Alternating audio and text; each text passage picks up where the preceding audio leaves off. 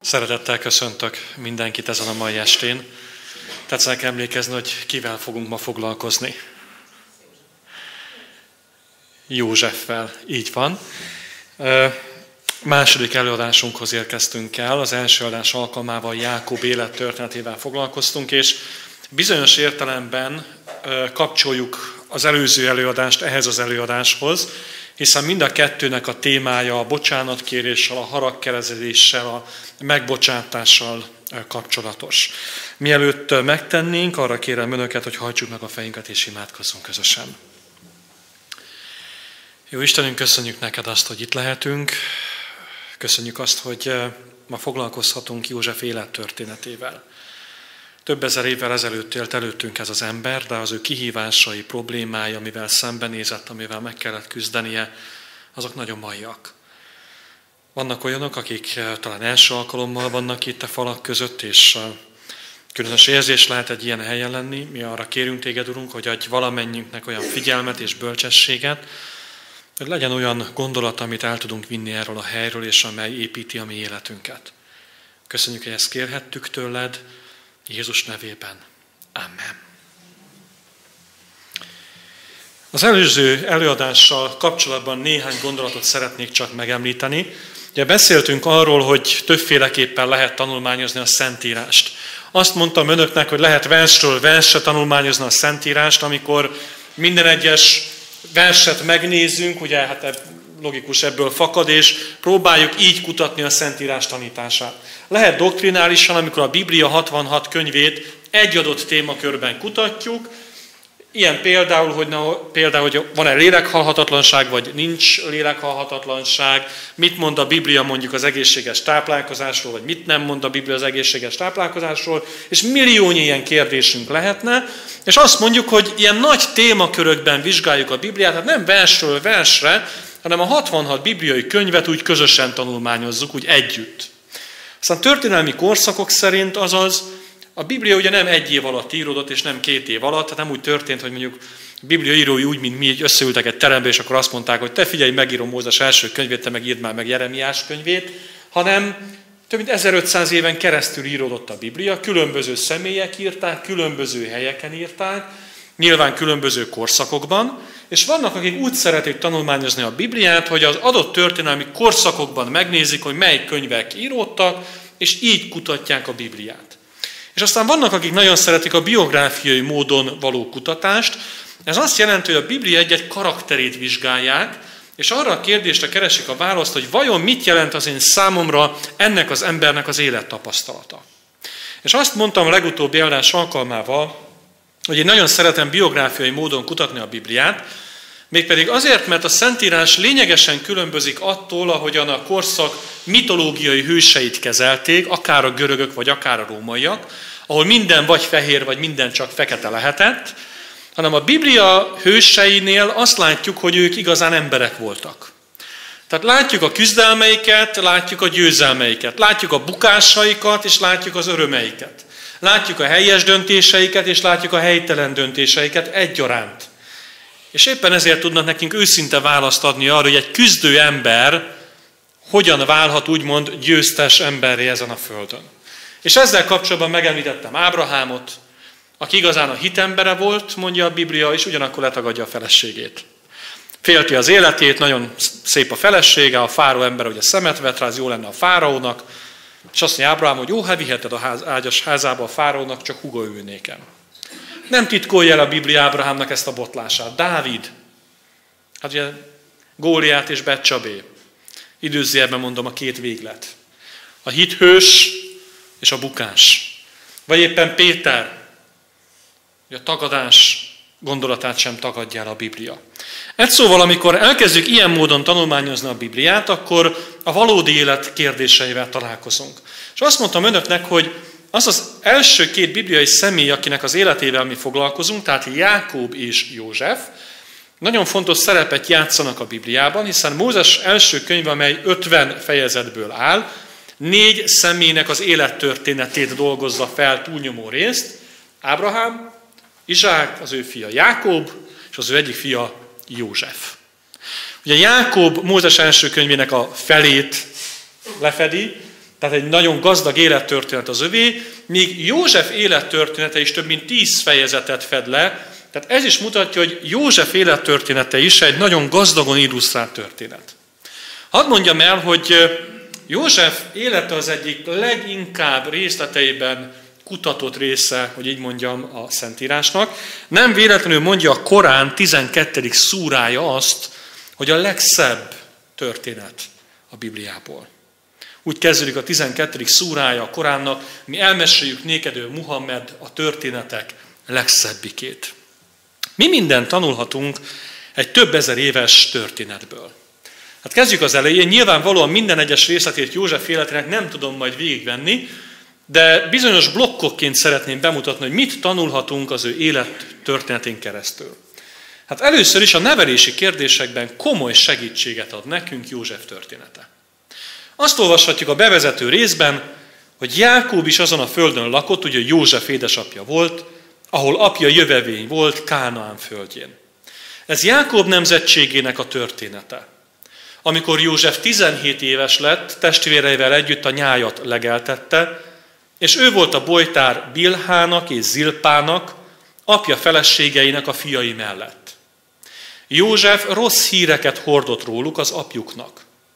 De Izrael Józsefet minden fiánál jobban szerette, mert öregkorában született fia volt, ezért tarka ruhát csináltatott néki. Az első dolog, amiben már is egy komoly tapasztalatot nyerhetünk, nevelési kérdés. Mi volt Jákob életében az egyik legnagyobb nehézség akkor még, amikor fiatal ember volt? Ugye volt egy bátyja Ézsau. És Ézsaut az ő édesapjuk jobban szerette. Azt olvashatjuk a Bibliában, és hogy erről beszéltünk legutóbb is, hogy egy nagyon diszfunkcionális, megosztott család volt Jákob családja, mert az édesanyja Rebeka nagyon szerette a Jákóbot, az édesapa Izsák nagyon szerette Ézsaut, és ebből rengeteg feszültség támadt családi körben. És most Jákob felnőtt. Jákobnak sok fia lett. És tanult a saját példájából? Az első kép, amit látunk Józseffel kapcsolatban a Bibliában, hogy 17 éves, amikor elkezdődik az ő története, látjuk azt, hogy rossz híreket hordott a testvéreiről az apjuknak, hát ezt hogy neveznénk? Hogy fogalmaznánk modern szóval? Bátran. Árulkodott, spicliskedett, ugye? Tehát figyelte a többi fiút, hogy mit csinál, és akkor látta, hogy valami olyan dolgot tesznek, ami a papának biztos nem tetszik, akkor gyorsan rohant az apjához, és mit csinált? Elmondta. Elmondta. És erre biztos Jákob úgy elmondta neki, hogy kisfiam, ezt nem szabad, hát ne árulkodjál a testvéreid után, nem helyes dolog ez. Nem? Nagyon szerette őt, annyira szerette, hogy kiemelte a többi gyermek közül, és tarka ruhát készítetett néki. Ezzel is kiemelte Józsefet. Az első tanulság ennek a történetnek, hogy bizony nagyon sokszor nem tanulunk a saját kárunkból. Jákób egy megosztott családban nőtt fel, és egy megosztott családot épített. Egy megosztott családban nőtt fel, és egy megosztott családot épített. És érdemes végig gondolni a saját életünket ezzel kapcsolatban. Hogy amikor úgy elindultunk az élet útján, és mondjuk láttuk azt, hogy a mi családunkban valami nem működik jól. És aztán teltek múltak az évtizedek, vajon mi tudtunk-e változtatni ezen, vagy sem? Egy érdekes kérdés lehet, hogy valóban meghatározza a genetika az életünket, vagy sem. Tudunk-e ezen változtatni? Vagy pedig predestinálva vagyunk arra, hogy ugyanazokat a hibákat kövessük el, mint a szüleink vagy a nagyszüleink. De jövő héten erre, illetve két hét múlva erre a kérdésre keressük a választ majd Heródesnél.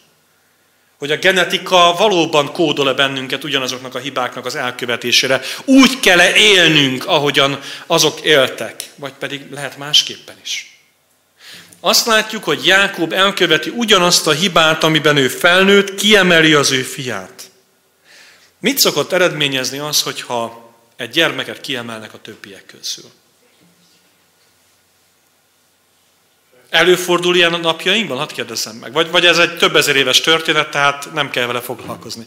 Előfordulhat napjainkban az, hogy egy gyermeket kiemelnek a szülők a többi közül? Hogy azt mondtam Jákob történeténél is, hogy önmagában véve még csak nem is az a problémát, probléma, de nem is az a legfőbb probléma, hogyha mondjuk sok gyerek van, és az egyik gyerek a szülő szívéhez közelebb áll, mert mondjuk ő a legkisebb. Nem jó, de önmagában nem ez a legnagyobb probléma. A legnagyobb probléma az, amikor ezt tudtára is hozza a többieknek. Nem hiszek a purgatóriumban, de ha létezne purgatórium, akkor ez az lenne. Úgy felnőni egy gyermeknek a családban, hogy a szülőm érzékelteti velem, hogy a másikat jobban szereti. És a testvérek így nőnek fel. Hogy József ki van közülük emelve. Na most hadd mondjam el, hogy ez oda-vissza rosszul működik. Mert Józsefben mit okoz? Általában mit okoz ez egy gyermekben, hogyha azt érzi, hogy őt kiemelik a többiek közül?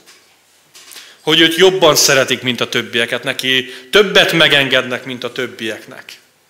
Őről jobban gondoskodnak, mint a többiekről. Figyeljék meg, hogy a legritkább esetben születik ebből egészséges személyiségű ember. Általában ezek az emberek nagyon deformálódnak. És bizony nagyon sokszor az életben súlyos pofonokat kell elszenvedniük ahhoz, hogy rájöjjenek, hogy ez, ez másképpen működik egyébként az életben. Viszont a többiek részéről mit eredményez ez nagyon sokszor? Irítséget, gyűlöletet, féltékenységet. Erről sem hallgat a Biblia, amikor olvashatunk ennek a pusztító hatásáról. Amikor testvérei látták, hogy apjuk jobban szereti őt minden testvérénél, úgy meggyűlölték, hogy egy jó szót sem tudtak hozzászólni. Csodálkozunk ezen? Nem ugyanezt történik a mai világban is? Hogyha egy olyan családban élünk, ahol több gyerek van, és az egyiket kiemelik, és azt látjuk, hogy ő neki mindent szabad, neki mindent megvesznek, folytathatnám még tovább, nekem meg ahhoz képest semmit. Szinte természetes út vezet oda el, hogy az emberben keserűség támad. Ha a keserűséget ápolja a szívében, az nagyon könnyen átcsaphat féltékenységbe, irítségbe, haragba. Különös, mert olyan dolgokról beszélünk most, olyan lelki állapotról, ami megfoghatatlan. Hát hogyan tudnánk megfogni az irítséget, a féltékenységet, a keserűséget? Megfoghatatlan és láthatatlan, de aki átadja magát ennek az érzésnek, annak az életét rövidesen ezt fogja irányítani. Hogyha az ember keserűséget érez ilyen értelemben az életével kapcsolatban, és hagyja ezt az érzést eluralkodni önmagában, és hagyja, hogy megteremje a maga keserű gyümölcsét, az irítséget, a féltékenységet, a meg nem értettséget, a haragot, és folytatnám mi minden mást, idő kérdése, hogy ezek az életérzések átvegyék az irányítást az életünk felett. És ez olyan törvényszerűség, amit láthatunk József testvérei életében is. Az első dolog, tehát amit tanulhatunk József életéből, az nevelési kérdés. A második, hogy milyen pusztító hatása van a féltékenységnek, az irítségnek és a haragnak, ami mondom még egyszer, megfoghatatlan. Nagyon sokszor egy családban ez úgy működik, hogy, hogy bemegyünk, és igazából megfoghatatlan dolgok, de mégis, ahogy beszélgetünk az emberekkel, érezzük azt, hogy itt valami, hát itt valami nagyon nem stimmel. Olyan ez, amikor belépünk egy ilyen családi otthonba, mint hogy aknamezőn járnánk. És aki emberekkel foglalkozik, az pontosan tudja, hogy miről beszélek. Tehát belépek, és megfoghatatlan a dolog, de érzem, hogy ott van. És az ember úgy óvatosan kezd beszélgetni, meg óvatosan, lehet, hogy mikor lép egy aknára. Hol fogok most robbanni? Melyik lesz az a gondolat, melyik lesz az a mondat, ahol robban ez a bomba, mert érzem, hogy elfolytott feszültség van, olyan feszültség, amit lehet leplezni, meg próbálják sokszor az emberek leplezni, de ettől még ott van. Ráadásul a Biblia szerint Józsefnek volt két álma. És a két álom ugyanarról szólt, hogy egy napon meghajolnak előtte a saját apja, anyja és a testvére is. Na most képzeljük el, hogy a papa kiemeli ezt a gyermeket a családból, tarka ruhát készített neki, ami megint csak azt jelenti, hogy kiemeli őt, és még van két olyan álma, amit meg is oszt velük, hogy eljön majd az a nap, amikor meghajoltok előttem. Hát nem meglepő, hogy az álom után azt olvasod, hogy ezért féltékenykedni kezdtek rá a testvérei. Irítség, féltékenység, keserűség, ez volt az, ami uralta a szívüket és a lelküket. Én ma is nagyon sok emberrel találkozom olyanokkal, akiket ez irányít. És hadd mondjam el, hogy ennek soha, de soha nincs jó következménye.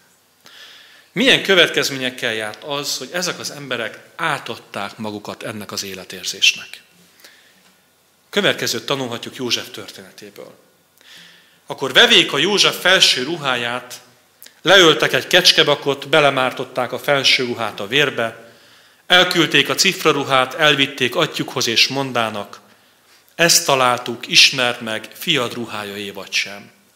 És megismeri azt, és mondta, fiam felső ruhája ez, fenevad ette meg őt, bizony széjjel szaggatta Józsefet.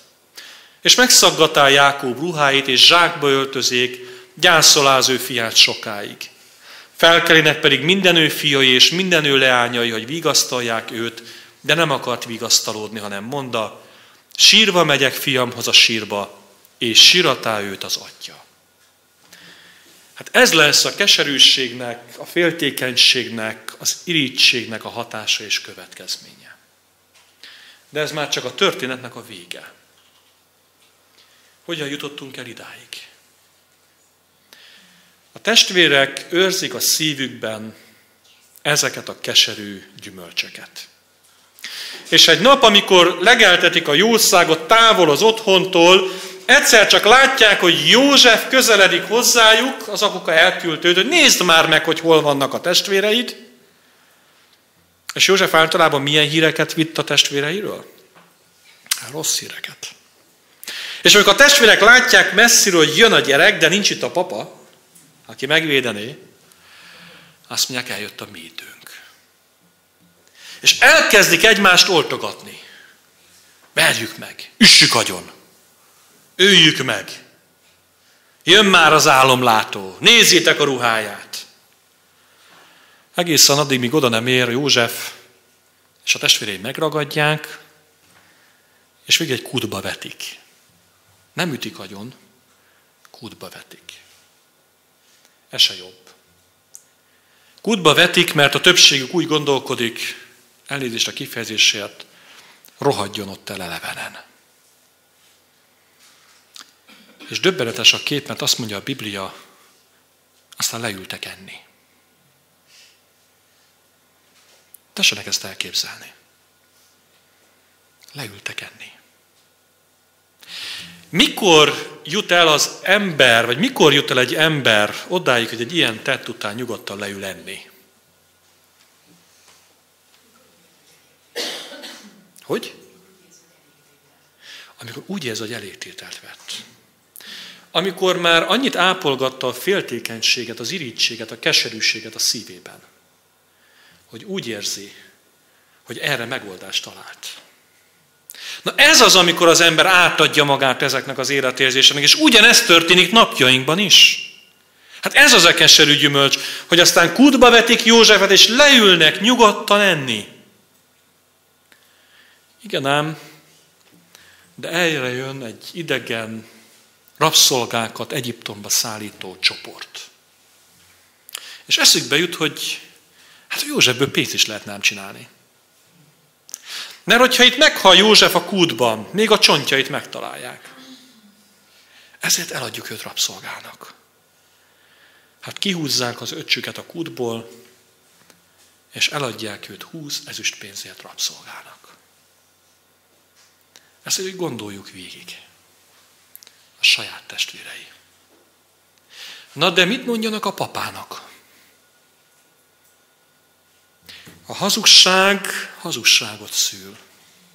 A hazugság láttuk Jákob életében legutóbb is, aki rálép az ilyen manipulatív útra, szóval előbb-utóbb arra az útra téved, hogy a hazugságot hazugsággal kell alátámasztani, a végén már ő maga se tudja, mi az igazság, és sokszor rátekeredik a nyakára, és megfojtja.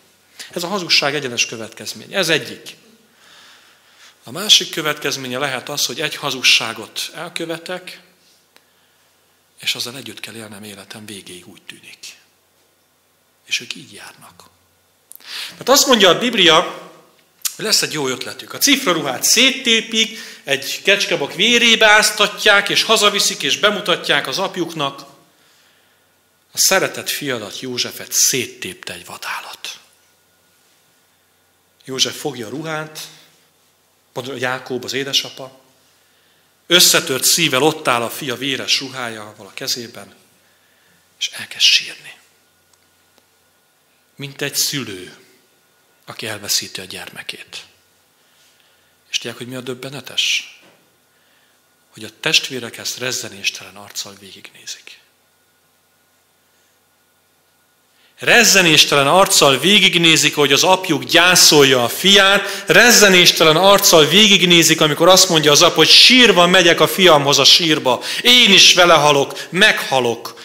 És képesek ezt szemtelen arccal végignézni, és aztán ezzel a hazugsággal együtt élni. És a dolgok nehézség az most kezdődik. Mert sokszor az ember úgy gondolja, hogy elkövetek valamit, és azt lefedem valami jó kis hazugsággal, úgy se tudja meg senki. De akkor még nem gondolnak rá, hogy ezzel a hazugsággal együtt kell élni. Hónapokon, éveken keresztül vigyázni kell arra, hogy el ne szóljam magam. Egy pillantással, egy sóhajjal, egy, egy meg nem gondolt tettel el ne áruljam magam. És így válik az egész életem egy színjátékká.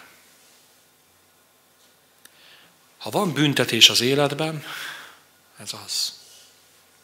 Állarccal élni. Szóval annak, amikor az ember átadja magát az irítségnek, a féltékenységnek, a keserűségnek, és, és ennek nyomán tesz cselekedeteket, aztán próbálja ezeket titkolni, tehát nagyon súlyos következménye lehetnek lelki értelemben is. Ez a harmadik nagyon fontos tanulság ennek a történetnek, József története, hogy mit kezdünk, hogyha ilyen helyzetbe kerülünk. Mit tegyünk akkor, hogyha belekerülünk egy olyan mókus kerékbe, hogy hazugsággal kell lepleznünk azt, amit tettünk, ezzel a hazugságunkkal együtt kell élnünk, és úgy gondoljuk, hogy ez a hazugság viszont teljesen békjóba is zár bennünket, mert akinek egy kicsit is egészséges azért az élet, a személyiség, a lelke, azt feszíti. Azt igenis feszíti. A következő tanulság ennek a történetnek, mit tegyünk az élet igazságtalanságaival. És úgy gondolom, hogy ez is egy nagyon mai kérdés. A nevelési kérdés is az. Az is, hogy a féltékenység, a harag, a keserűség, a hazugságban való élés. De az is, hogy mit tegyünk akkor, ha úgy érezzük, hogy az élet igazságtalan velünk. Józsefet eladják a saját testvérei rabszolgának. Elmegy Egyiptomba. Elmegy. Viszik. Már nincs akarata ilyen értelemben. Nem dönt a saját sorsáról. Aztán eladják őt rabszolgának. Megveszi őt Potifár, egy gazdag ember, fáró testőrségének feje. És aztán tíz éven keresztül itt él Potifár házában. Igyekszik becsületesen élni. Úgy annyira becsületes, hogy végül Potifár szinte az egész háznak a gondjait, bajait, mindenit ráhagyja, mert annyira becsületes. Igen ám. De tudják, hogy van, Potifár sokat dolgozik. Mert a fáró egy fontos ember, azt védeni kell. Sok az orgyilkos. Az asszony meg így sokat van egyedül. Ez sose jó. És azt olvashatjuk a Bibliában, hogy egyszer csak szemet vet Józsefre. Na most ez a szemet vet József nem csak azt jelenti, hogy kinézi magának Józsefet, ez a fiatal embert, hanem azt is jelenti, hogy elkezd vele szemezni. Üzeneteket küld a hölgy Józsefnek. Ugye tetszenek ismerni ezt. József szegény tesz-vesz, Oda néz, és látja, hogy ott ül az űrnő, és néz rá, és kacsin rá. És a József próbálja, hogy nem veszi észre, mintha nem látná, nem fogja fel.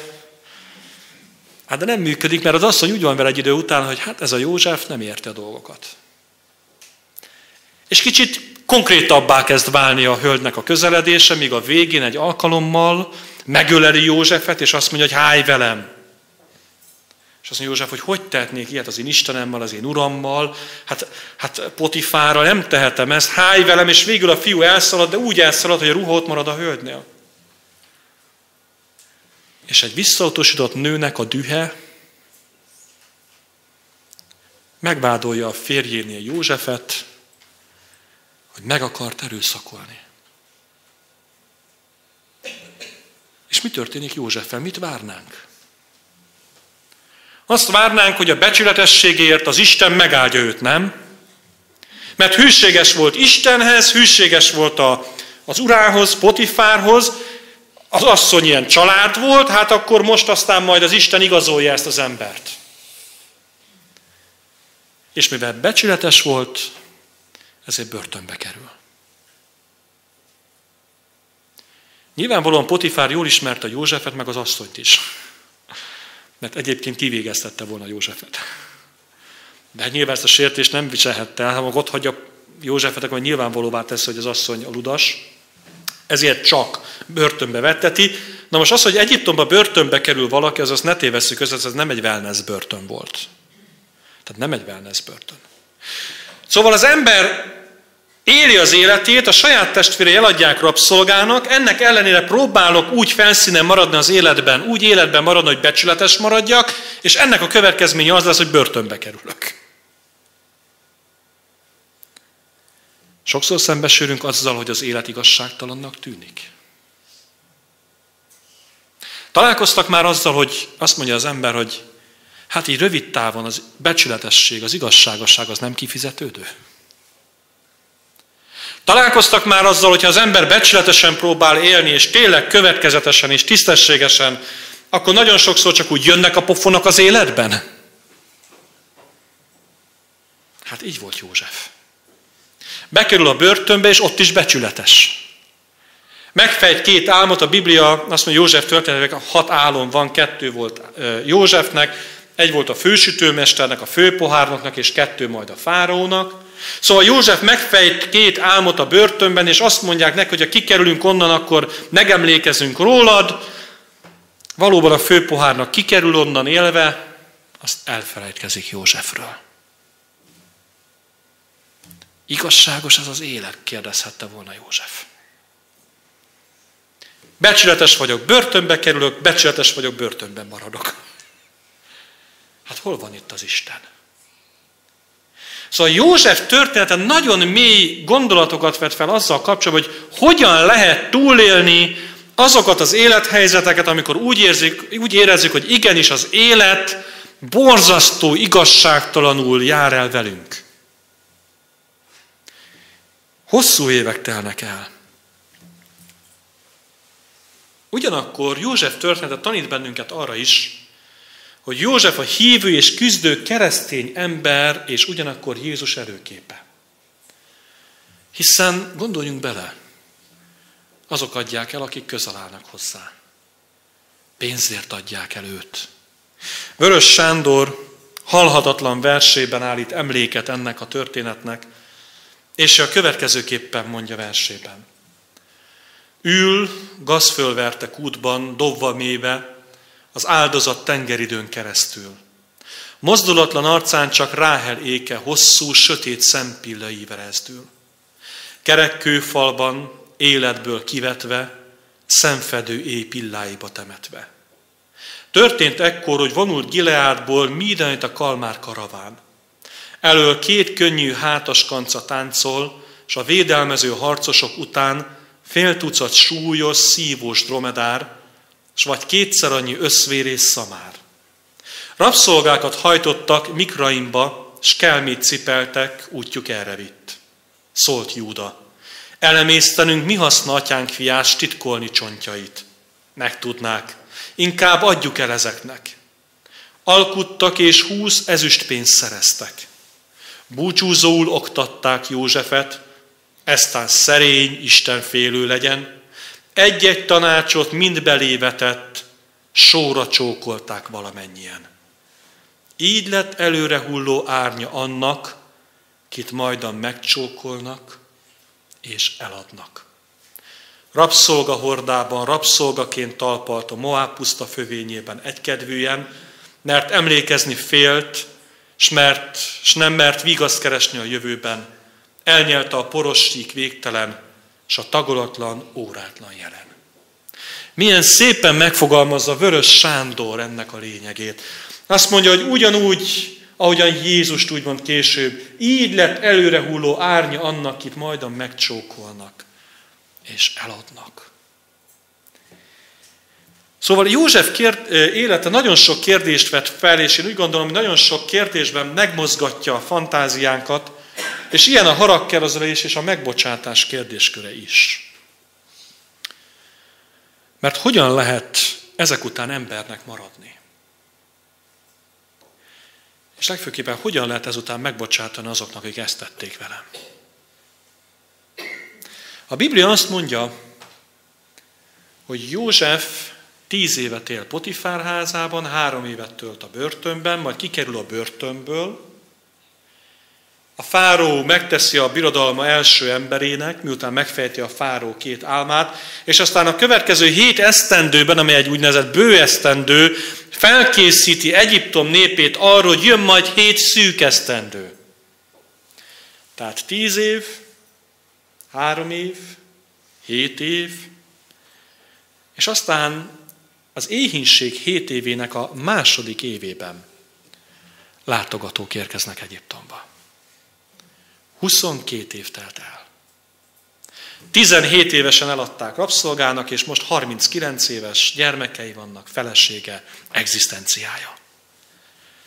De sok minden változik 22 év alatt, nem? Tessenek kicsit visszaemlékezni 1992-re. Valami változott 1992 óta? Hát tényleg most visszaemlékeznek erre a 22 esztendőre. Mi minden történt? Van olyan személy közöttünk, aki még nem is élt.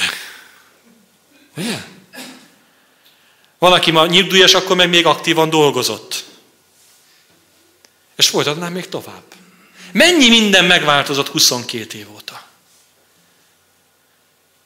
Milyen különös, hogy vannak viszont dolgok, amelyek nem változnak. És ilyen az, amikor az embernek együtt kell élni egy hazugsággal. Vagy megtetszenek látni, hogy eltelt 22 esztendő, de a testvérek képtelenek megbírkózni ezzel a hazugsággal. Éhínség van Kánaánban, ezért Jákób azt mondja gyermekeinek, menjetek el Egyiptomba, vegyetek gabonát. Érdekes kérdés lehet, hogy miért nem ment el József meglátogatni az édesapját, hiszen már megtehette volna, mint Egyiptom főembere, nem tudom a választ. De azt igen, hogy József igenis gondolkodott azon, hogy mi lenne, ha újra találkozna a testvéreivel. Ezt onnan tudom, hogy amikor találkozik velük, azonnal kész van a haditerv. A testvérei nem reménykednek abban, hogy valahogy is találkoznak Józseffel. Olvastam egy könyvet, amely azt írt, hogy abban az időben az Egyiptomban élő rabszolgák maximum 5 évig éltek. 22 év telt el feltűnnek a testvérek. József azonnal megismeri őket, a testvérei nem ismerik meg. Hát eleve halottnak hiszik. És elkezdődik egy nagyon érdekes párbeszéd. József nem fedi fel, hogy ismeri a nyelvüket, tolmács útján azt mondja, hogy kik vagytok. Szóval Kánaánból jöttünk, tíz testvér van, ugye, egy, a legkisebb testvérünk Benjamin az otthon maradt, egy pedig nincs meg. Tessék elkezdeni, mondják ezt Józsefnek, hogy egy nincs meg. Azt mondják József, hogy hazudtok. Kémek vagytok. Mi? Dehogy vagyunk kémek, élelemért jöttünk, nem, nem. Kémek vagytok. És börtönbe vetteti őket három napra.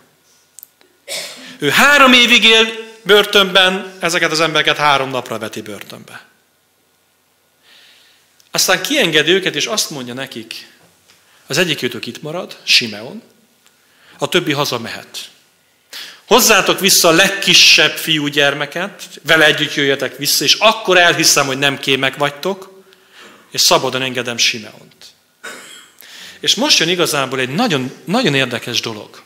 Mert azt olvashatjuk a Bibliában, hogy elkezdenek beszélgetni ezek a testvérek, és a következőt mondják egymásnak. Azért történik mindez velünk, amit tettünk ezelőtt hú, több mint húsz éve. És Ruben azt mondja, hogy hát ez, ez történik velünk, mert nem hallgattatok rám, eladtátok őt rabszolgának. Tessék megnézni, hogy eltelt több mint húsz év. És amikor bajba kerülnek, akkor mi jut eszükbe? Hogy mit tettek húsz éve? Mert már több mint húsz éve állarccal élnek. Húsz éve hazudni kell az apjuknak. Húsz éve van egy hazugság, ami összeköti őket, ami, ami problémát jelent, ami feszíti őket. Nem tudnak vele mit kezdeni. És amikor baj van, azt mondják, hogy lám, lám, hát ezért szenvedünk. Azonnal, azonnal felszínre jön. Hazamennek, közben József parancsára a pénzt visszateszik a zsákjukba, hát ettől az halára rémülnek, vettek gabonát, csomó gabonás zsákkal mennek haza, és a zsákban meg ott a pénz. Elmondják Jákobnak, mi történt, és azt mondja, Jákob, Benjamint nem adom. József meghalt, Benjamint nem adom. De az éhínség nagy úr. Rövidesen menni kell. Visszamennek hát, viszik Benjamint is. Meglátja őket József, és azt mondja, hogy vigyétek őket a házamba. És először van együtt a 12 testvér. 22 év után. A testvérek ezt nem tudják, csak József. Nem ülnek egy asztalhoz, de a Biblia azt mondja, hogy József egy nagyon érdekes dolgot tesz. Benjaminnak ötszörte többet ad mindenből. Kiemeli közülük Benjamint, a legkisebbet. Miért? Miért teszi ezt vajon József? Mi volt a problémájuk a testvéreinek 22 évvel ezelőtt? Hogy Józsefet kiemelték közülük. És most ugyanezt teszi Benjaminnal. Szeretné látni, hogy változtak-e valamit az ő testvérei a 22 év alatt. És azt látja, hogy igen. Mert nem haragszanak Benjaminra. Biblia azt mondja, hogy esznek, isznak, magyarul minden happy. És közben azt mondja József a szolgájának, az ezüst kupámat tedd be Benjamin zsákjába. Másnap elindulnak hazafelé, utánuk küldi a szolgát, aki azt mondja, hogy megloptátok az uramat. Visszaéltetek a vendég szeretetével. Hát hogy tehettetek ilyet? Azt mondja, hogy mi? Te Isten ments, tehogy is. De ha bárkinél megtaláld azt a kupát, legyen az a te rabszolgád. És akkor a szolga elkezdi keresni, mintha nem tudná, hol van. A legidősebbtől halad, a legkisebbig. És megtalálja Benjaminnál. Hát persze, hát ő rejtette oda. Benjamint visszaviszi, úgymond rabszolgának, és ott maradnak a fiúk, és el kell dönteni, hogy akkor most mit csináljunk. Mit tettek volna olyan 22 éve korábban? Hát az hazamennek. És előadják Jákóbnak, hogy hú, te képzeld el, apa, mi történt, ezt is széttépte a vadállat. Ekkora pekhet de már nem ezt teszik. A Biblia szerint visszamennek Józsefhez, és egy nagyon különös bűnvallomást tesznek. Mert elmondják neki azt. Júda a leghosszabb monológ Mózes első amikor elmondja Júda azt, hogy nem tudok tovább hazudni. Nem tudok így hazamenni Benjamin nélkül. Mit mondjak az apámnak? Egyszer már voltam ebben a helyzetben 22 évvel ezelőtt, és azóta is úgymond hazudok az apámnak, vége van, nem tudom tovább csinálni, elég volt. Inkább hadd maradjak én itt rabszolgának. És enged haza Benjamint. A haragkezelés és a megbocsátás művészetében az első lépés a bűnfelismerés és a bűnvallás. Hogy merjünk szembenézni az igazsággal. A második az őszinte bűnbánat. Tehát az nem bűnbánat, amikor az ember azért vallja be az ő bűnét, mert nincs más lehetősége, mert sarokba szorították. Ugye kétfajta bűnbánat létezik. Van egy, amely belülről széttép már szinte az az érzés, hogy olyan dolgot tettem, ami helytelen, és lehet, hogy nem tudják a környezetemben élők, de én nem tudok tovább együtt élni ezzel. És van olyan, hát amikor már mindenki tudja, hát már nincs mit tenni, és akkor kiállok, és őszintén bűnbánatot tartok. És aztán holnap élek ugyanúgy tovább, mintha mi se történt volna. És itt Júdánál láthatjuk az őszinte bűnbánatot, hiszen ő nem tudta azt, hogy József kicsoda, és József előtt mondja el, hogy ő nem tud tovább így élni, elég volt, elég volt ebből az életből, nem akar tovább állarcot hordani. És a Biblia szerint akkor egy nagyon különös dolog történik, mégpedig ugye felajánlja magát Benjamin helyett. Mennyire más ember lett 22 év alatt. És a haragkezelés, megbocsátás kérdéskönek a harmadik lépcsőfok a megbékélés. A Biblia szerint József elküld mindenkit a környezetéből, csak a testvérek maradnak bent, és akkor felfedi azt, hogy ki is ő valójában. Azt mondja, jöjjetek hozzám közelebb. Én vagyok József, ne féljetek.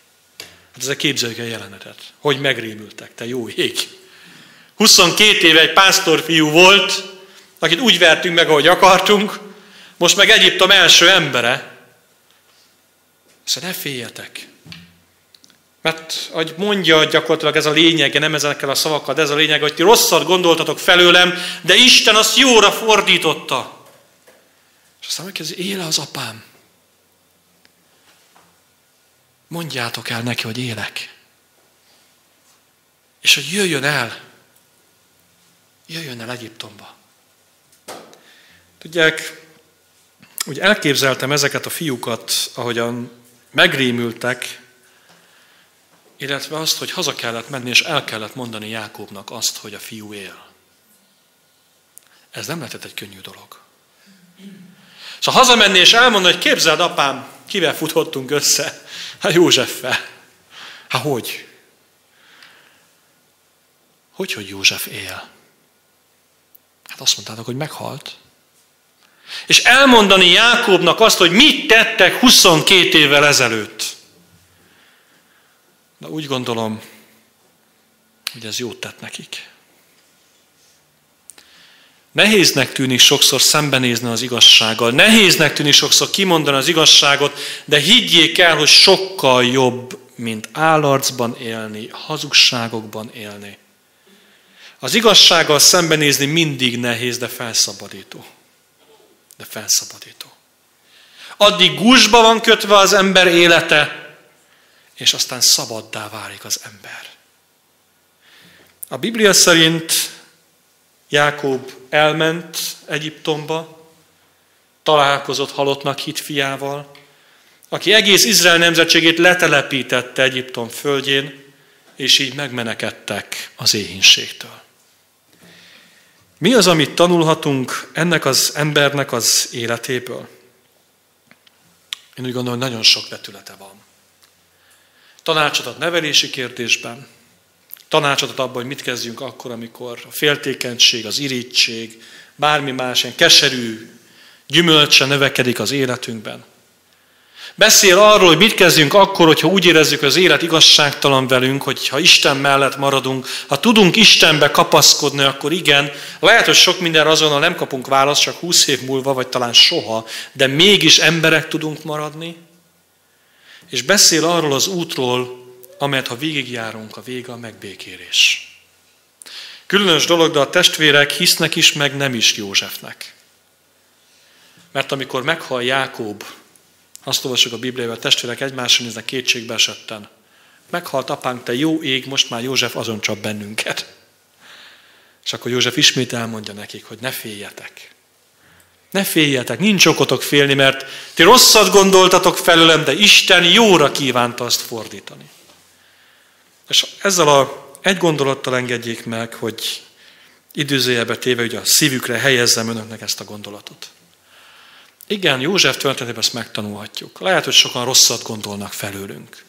Lehet, hogy sokan rosszat próbálnak velünk tenni az életünk során. de Isten az ő kegyelméből ezt jóra fordíthatja. Higgyenek ebben. Vegyük át ezt Józseftől élettapasztalatként.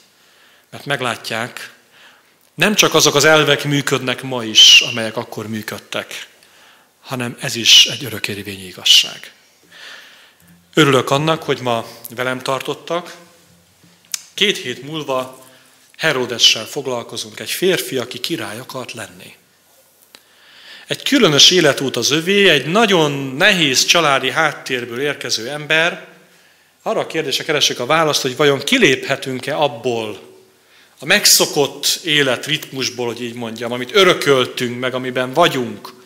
Szóval kiléphetünk-e, vagy pedig képtelenség, és úgy kell leélni az életünket, ahogyan van, és természetesnek kell venni, hogy ha így éltek a nagyszüleim, a szüleim, meg az ükszüleim, akkor nekem is így élek, nekik ezek voltak a hibáim, nekem is ezek a hibáim, mert ezzel nem lehet változtatni. Szóval erre a kérdésre keressük a választ. Heródes egy férfi, aki király akart lenni címmel. Kérem önöket, hajtsák meg a fejüket egy imára, mielőtt elmennénk erről a helyről.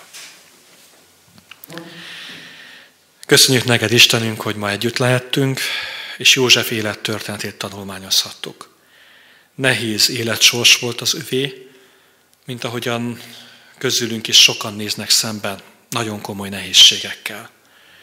És talán, Urunk, József élettörténete az, ahogyan ő ember tudott maradni az embertelenségben, ahogyan ő az élet igazságtalanságai közepette is mellette tudott maradni, erőt ad azoknak, akik most nehézséggel néznek szembe. Jó Istenünk, szeretnénk így közösen együtt könyörögni azokért, akik nehéz szívvel jöttek ide. Tehát olyan lelki terheik vagy problémáik vannak, amelyek úgy érzik, meghaladják az erejüket. Jó Istenünk, áld meg őket különlegesképpen. És ma, amikor elmegyünk erről a helyről, te adj nékünk békességet és nyugalmat, és te ad Istenünk, hogy a mi életünket úgy tudjuk élni, ne felejtkezzünk el Józsefről, és az ő életéből azokat a tapasztalatokat, amelyeket a mi életünkben megélhetünk, azt meg tudjuk tenni. Köszönjük, hogy ezt kérhettük tőled Jézus nevében. Amen. Örülök a találkozásunknak. Két hét múlva ugyanazon a helyen, ugyanebben az időpontban szeretettel várom Önöket. Viszontlátásra!